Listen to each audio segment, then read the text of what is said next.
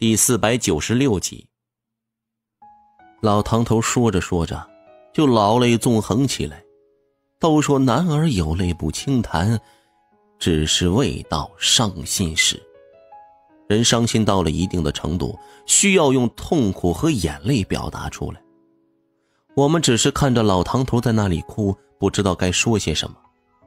老唐头哭了一会儿，擦了擦眼泪，说：“从小，我娘就告诉我，我爹和我哥死了，被烧死在大火里，尸骨无存。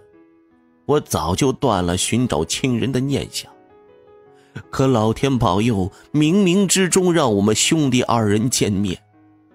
三十多年后的这一面格外的珍贵。虽然和哥分开的时候，我还想。”不记得哥的模样，但血脉之亲是永远割舍不断的。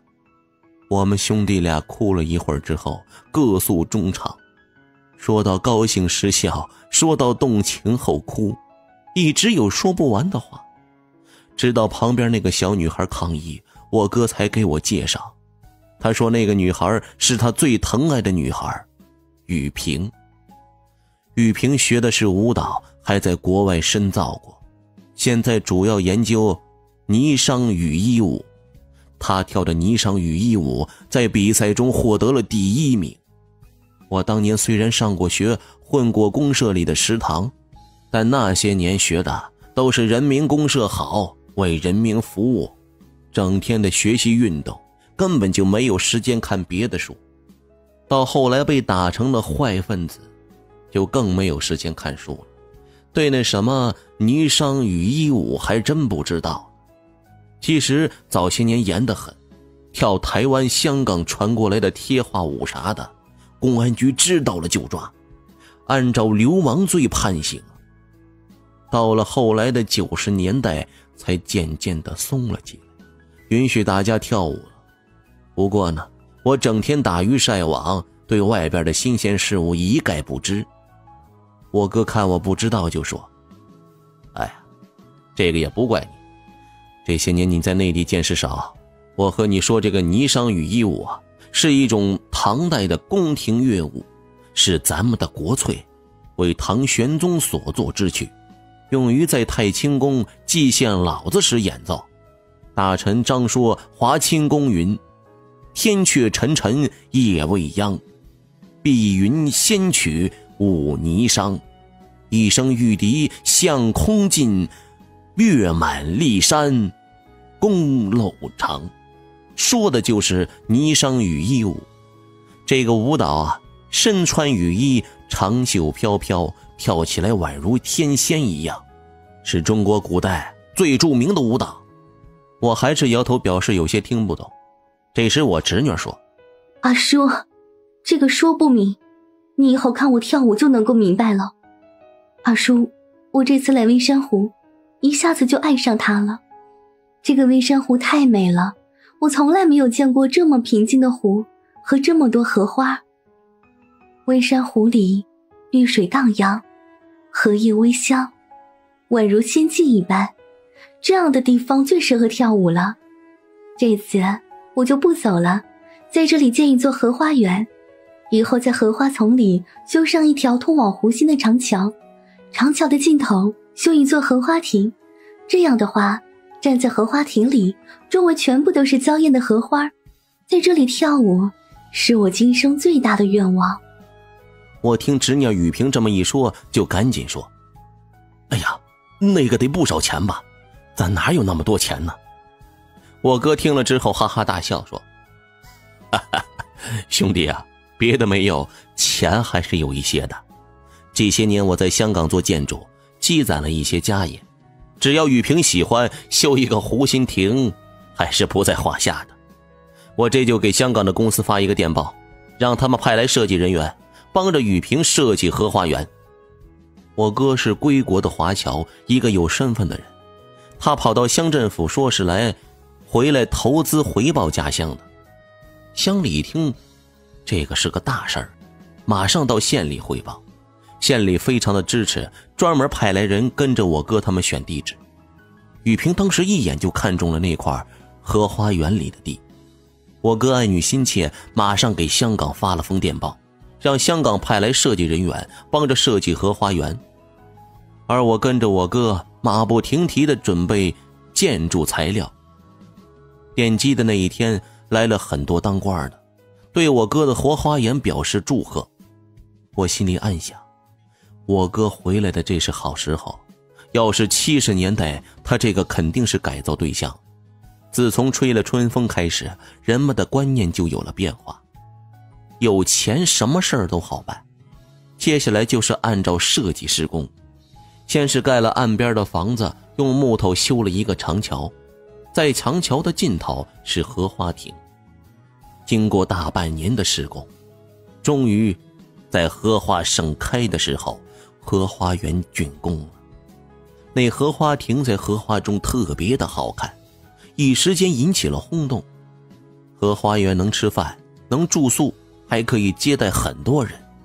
在开业这一天，我侄女身穿白色的雨衣，头上戴着一朵荷花，站在高台上跳了一个舞蹈。那舞蹈好看极了，长袖飘飘，犹如仙子一般，一时掌声雷动。都说我侄女儿是荷花仙子下凡。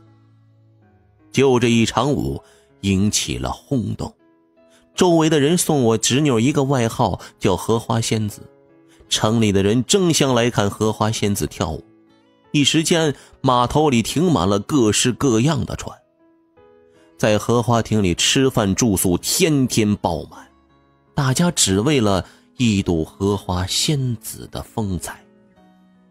我侄女迷恋舞蹈，一个夏天都在跳她喜欢的霓裳羽衣舞。她特别喜欢月圆之夜，在荷花亭里挂上灯笼跳舞。可惜，我侄女红颜薄命，一天月圆之夜，在荷花亭里独自跳舞。忽然湖上狂风大作，等风停了之后，我侄女就消失不见了。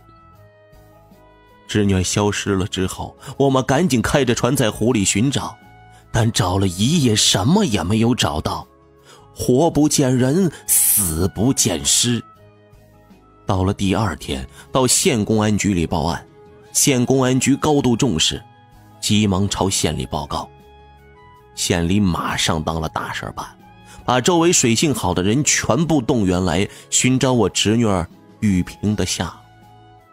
可是把周围的水域都搜遍了，依然是鸟无音信。微山湖不是别的湖，是当年陆地沉降而成的，也就是说，几百年前这里还是陆地，湖的底下还算是平坦，没有什么大的暗流。如果真是淹死了，尸体绝对跑不远。可偏偏出问题就出在这个绝对上。几百口子人几乎把微山湖周围都找遍了，但依然没有找到。侄女失踪的十天里，最难受的就是我哥。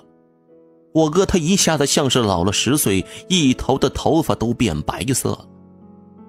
由于伤心过度，到了第十一天，就倒在病床上。在医院里，他吩咐大家不要找了，还说雨萍的这条命。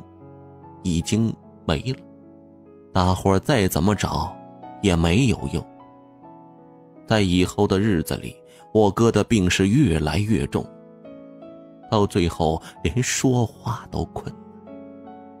一天，他对我说：“自己命不久矣，荷花园直接给我了，让我看着经营，还说这个荷花园是雨萍的心血，不能说扔就扔了，一定要保护好。”我当时劝大哥让他好好养病，别胡思乱想。可大哥摇摇头，说自己的大限已到，没有回天之力了，唯一想见的就是自己的儿子，好交代好后事。但香港到这里来，不是一朝一夕的事情。我哥没有等侄子赶来，就含恨而去了。那段时间。恍然若梦，我见到了分别三十多年的大哥，见到了侄女儿，见他们都活得好好的，我感叹我的命好，一个五十多岁的人还能到这一步，不得不说是上天对我的恩赐。可是天有不测风云，转眼间大哥和侄女都没有，让我悲痛欲绝。侄子来了之后也是伤痛欲绝，最后把我大哥埋在了他的那座空坟里。让我大哥陪着我娘，由于侄女没有找到尸体，只能给他埋了一个衣冠冢。侄子处理完丧事后就走了，我打理着荷花园。侄女失踪之后，荷花园的生意一落千丈，那些当官的也不来吃饭，有时候会来一些年轻人，他们在湖边盼着荷花仙子再次出现。本来事情这么下去啊。不会有什么问题的。可有一天，忽然有人大喊：“荷花亭那里死人了！”这个死人可是一件大事。我赶紧过去看，只见在荷花亭下面的水里，确实飘着一个人。那个人趴在那里，可能是醉酒失足淹死在湖里的。我赶紧让人把尸体捞上来。几个年轻的小伙子。直接跳进水里，用手去拽死人的尸体，拽了几步就到了岸边，把尸体翻开，准备看看到底是谁。